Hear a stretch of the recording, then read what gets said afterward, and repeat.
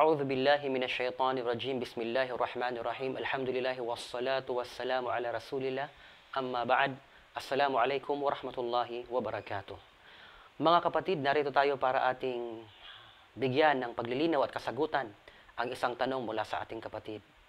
Ang kanyang tanong, maaari bang gamitin ng isang daiya, ng isang Muslim, ang Biblia sa kanyang pagdadawa?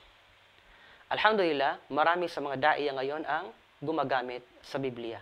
Ngunit ano nga ba ang katayuan ng mga Muslim patungkol sa paniniwala natin sa Biblia? Sinabi ni Allah subhanahu wa ta'ala, Kulu amana billahi wa ma unzila ilayna wa ma unzila ila Ibrahim wa Ismail wa Ishaq wa Yaqub wal asbati wa ma utiya Musa wa Isa wa ma utiya nabiyuna min rabbihim la nufarriqu bayna ahadin minhum wa nahnu lahu muslimun. Sinabi ni Allah SWT, sabihin ninyo, kami ay naniniwala kay Allah at sa ipinanaog sa amin at sa ipinahayag kay Ibrahim, kay Ismail, kay Ishaq, kay Yaqub at sa Al-Asbab, yung labing dalawang anak ni Yaqub. At doon sa ipinahayag kay Musa, kay Moses, at kay Isa, at sa ipinagkaloob sa mga propeta mula sa kanilang Panginoon. Hindi kami nagtatangi-tangi sa kanila at sa Kanya, kay Allah lamang kami tumatalima. Kaya't ang mga Muslim una, tayo ay naniniwala sa lahat ng mga propeta at naniniwala din tayo sa lahat ng mga kasulatan na ipinahayag sa kanila. Ibig sabihin, naniniwala tayo na merong ipinahayag kay Musa, kay Moses, yung Torah, Taurat, at yung Injil na ipinahayag kay Heso Kristo. Ngunit ano nga ba ang paniniwala ng mga Muslim, yung kabuuhang paniniwala ng mga Muslim sa mga aklat na ito? Number one, tayo ay naniniwala na ang mga aklat na ito ay sila ang gabay para sa mga tao noong unang panahon hanggang sa dumating ang Quran. Sinabi ni Allah subhanahu wa ta'ala, Nazzala alayka al-kitaba bil-haq, musaddiqan lima bayna yaday, wa anzala at-taurata wal-injil, min qablu hudal linnas. Noong unang panahon, yung Torah at ang Injil ay hudal linnas. Ito ay guidance noong unang panahon hanggang sa dumating yung Quran. Kaya't nasa generation na tayo ng Quran.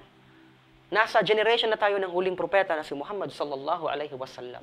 Pangalawang paniniwala natin patungkol sa mga kasulatan na ito ay sinabi ni Allah subhanahu wa ta'ala, فَوَيْلٌ لِلَّذِينَ يَكْتُبُونَ الْكِتَابَ بِأَيْدِيهِمْ ثُمَّ يَقُولُونَ هَذَا مِنْ عِنْدِ اللَّهِ لِيَشْتَرُوا بِهِ ثَمَنًا قَلِيلًا فَوَيْلٌ لَهُمْ مِمَّا كَتَبَتْ أَيْدِيهِمْ وَوَيْلٌ لَهُمْ مِمَّا يَكْسِبُونَ Ano ang ibig sabihin?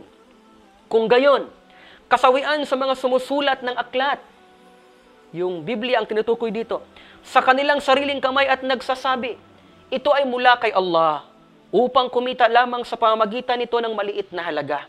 Kasawian sa kanila sa anumang sinulat ng kanilang kamay at kasawian sa kanila sa anumang kanilang kinita. Kaya't, kasawian para sa mga tao na ito. Nainiwala tayo na ang mga naunang kasulatan, sila ay na-corrupt.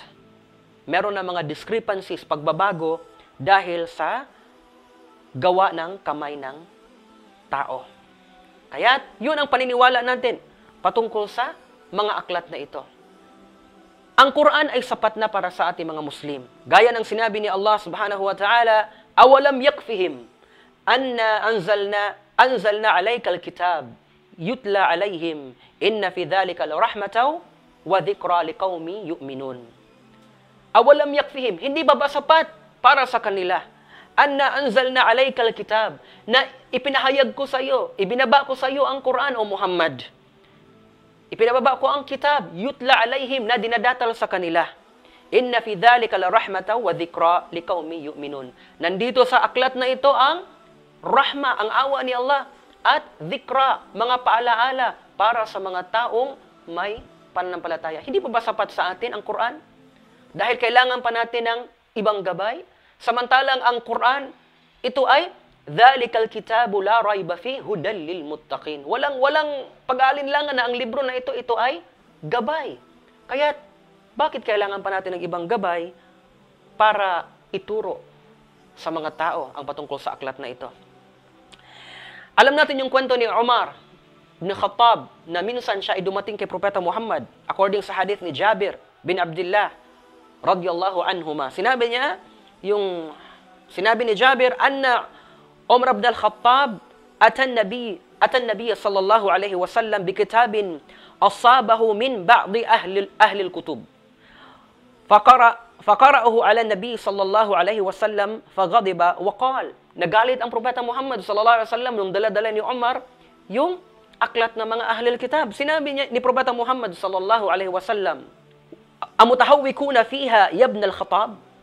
والذي نفسي بيده لقد جئتكم بها bayda'a naqiyatan la tas'aluhum an shay'in fayukhbirukum fayukhbirukum bihaqqin fatukadzibu bihi aw bibatilin fatusad uh, fatusaddiqu bihi walladhi nafsi biyadihi law anna Musa kana hayyan ma wasi'ahu illa an yatba'ani yatba'ani kaya nagalit si Propeta Muhammad sallallahu alaihi wasallam. Dahil sa paggamit ni Umar bin Khattab sa kanyang pagdala sa isang bahagi ng libro aklat ng mga ahlul kitab ahlul kitab kaya si Ibn Abbas radiyallahu an ay nagbigay siya ng babala sinabi niya Kayfa tas'aluna ahlal kitab an shay?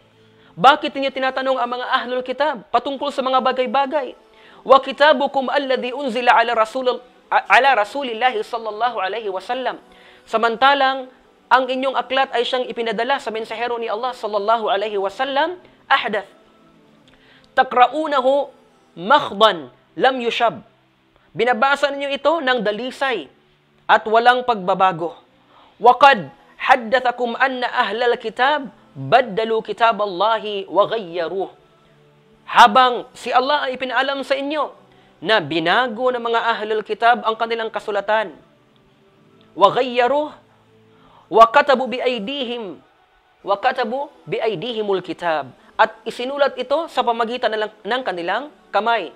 Qalu huwa min indillahi liyashtaru bihi thamanan qalila.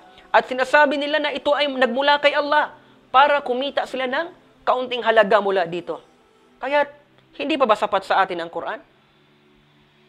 Hindi pa ba sapat sa atin ang Quran samantalang ito ay ang pinakahuling kapahayagan na ipinadala sa atin? Hindi lang para sa mga Muslim, sa lahat ng mga tao ngayon sa ating panahon. Tayo ay kabilang sa umma, sa umma ni Muhammad sallallahu alaihi wasallam. Kaya ayon sa ating mga ulama, merong dalawang klase ng tao ang gumagamit ng Biblia sa kanilang da'wa. Ano itong dalawang klase ng tao na ito? Al-qasmul awwal. Ang unang klase, al-ami. Ito yung yung mga ordinary na mga tao, ordinary yung mga tao. Waman laysa lahu ilm. Yung mga taong walang kaalaman, yung mga ordinaryo lamang na walang kaalaman. Wakada da'iful iman. At yaong mga tao na merong mahinang iman, mahinang pananampalataya. Kaya sinabi ni Al-Hafidh Ibn Hajar, wal aula fi hadhihi al-mas'alati at-tafriqatu bayna man lam yatamakkan wa yassir min ar-rasikhina fil iman. Patungkol sa bagay na ito, mahalagang tandaan na sa kaso ng mga walang masyadong kaalaman at kulang sa paniniwala, fala yajuzu lahu an nadharu fi shay'in min dhalik. Hindi pinapahintulot sa kanila na basahin ang anumang libro na iyon. Basahin yung anumang libro na iyon at gamitin ito sa kanilang da'wa, hindi ito ipinapahintulot. Para sa mga taong ami. Al-qasmu thani. Ang pangalawang klase ng tao, ito ay mga taong arrasikhuna fil ilm, alladhina yasta'maluna hadhihi al-kutub fi mujadilati al-yahuda wan nasara. Ang pangalawang klase ng mga tao, yung mga tao na merong kaalaman, well-versed sa kanilang kaalaman, na ginagamit ang mga libro na ito para makipagtalakayan sa mga Hudyo at mga Kristiyano at upang makapag-establish ng mga patunay para sa kanila. At ang mga tao na ito na may sapat na kaalaman, sapat na kaalaman sa ating din, sa ating pananampalataya, pinahintulutan sa kanila na gamitin ito. Kaya dapat na ang, ang mga gumagamit ng Biblia yung mayroong sapat na kaalaman sa akida ng Islam, sa ating paniniwala, sa Sharia. Sila ay pwedeng gumamit ng Biblia. Kaya nung ang propeta Muhammad sallallahu alaihi wasallam nung kanyang pinadala si Muad si Mu'adh bin Jabal sa Yemen. Pinadala niya si Mu'adh bin Jabal sa Yemen at merong instruction ang propeta. Meron siyang instruction ang propeta Muhammad sallallahu alaihi wasallam kay Mu'adh. Sinabi niya, "Innaka ta'ti qauman min ahlil kitab." Katotohanan, ikaw ay tutungo sa mga taong kabilang sa angka ng kasulatan. Fad'uhum ila shahadatu an la ilaha illallah wa anni rasulullah. Kaya, anyayahan mo sila na tumistigo na walang Diyos maliban kay Allah at ako ay mensahero ni Allah. Fa inhum ata'u lidhalik, kung kanila itong tatanggapin, fa'limhum fa'limhum anna Allah aftarada alaihim khamsa salawatin fi kulli yawmin wa laylatin. Ipaalam mo sa kanila na tunay na si Allah ay nag-utos sa kanila ng limang pagdarasal sa araw-araw at gabi. Kaya't mga kapatid, ito ay ang hadith na ito ay nagbibigay sa atin na ang da'wa nung pinadala si Mu'adh bin Jabal sa Yemen, ang da'wa ay merong step by step, munadjam, tadarruj. Ibig sabihin, step by step. Ang pinakaunang step ay anyanyahan ng mga tao na maniwala sa tauhid, tanggapin ang tauhid, ang kaisahan ni Allah at ang pagiging propeta ni Muhammad sallallahu alaihi wasallam. At pag kanila itong tanggapin, ay anyayahan mo sa, sila na ipatayo ang kanilang pagdarasal limang beses araw-araw. Fa inhum ata'u lidhalik, kung kanila itong tatanggapin ang pagdarasal, fa'alimhum anna Allah aftarada alaihim sadaqatan tu'khadhu min aghniyaihim faturaddu fi fuqaraihim. Ipaalam mo sa kanila na si Allah ay nag-utos na kunin mula sa mula sa mga mayayaman ang sadaka. Yung tinutukoy na sadaka dito, ito yung zaka. Oh, sa ibang hadith, sa laysay na hadith. At ibigay sa mga mahihirap. Pagkatapos silang magsala, ituro sa kanila ang sadaka, zaka. Fa'inhum ata'u lidhalik, at kung kanila itong tatanggapin, فَإِيَّاكَ وَكَرَائِمَ أَمْوَالِهِمْ Mag-ingat na huwag kumuha mula sa pinakamainam sa kanilang kayamanan. وَاتَّقِي دَعْوَةَ مَذْلُومٍ At katakutan ninyo, maging mapagmatyag kayo sa panalangin ng mga inalipusta. فَإِنَّهُ لَيْسَ بَيْنَهَا وَبَيْنَ اللَّهِ, بَيْنَ اللَّهِ hijab. Dahil tunay na walang hadlang sa pagitan nito at kay Allah. Kaya yung da'wa ni Muad, yung instruction ng Propeta Muhammad SAW, ito yung dapat na maging pattern ng mga duat sa kanilang pagtatawag tungo sa landas ng Islam, sa landas ni Allah subhanahu wa ta'ala. Hindi sinabi dito na, ikaw, ya Muad, pinadala ka sa mga ahlul kitab, mga Hudyo at mga Kristiyano, gamitin mo ang kanilang Biblia para sa kanila. Hindi. Dahil, awalam yakfihim, hindi pa ba sapat sa atin, sa kanila, anna anzalna alayka kitab na ipinadala namin sa iyo o Muhammad ang Quran, hindi pa ba sapat ang Quran? Kailangan pa natin gumamit ang Biblia. At bilang panghuli, argumento nila, pag hindi natin gagamitin ang, ang Biblia para sa mga Kristiyano at mga Hudyo, ay hindi nila maiintindihan yung Quran. Kung Quran yung ating gagamitin. Kaya dapat gumamit tayo ng Biblia. Subhanallah. Ito ay maling paniniwala. Bakit? Kasi ang Quran ay, ito ang gabay para sa mga tao. Hindi pa ba ito sapat para sa atin?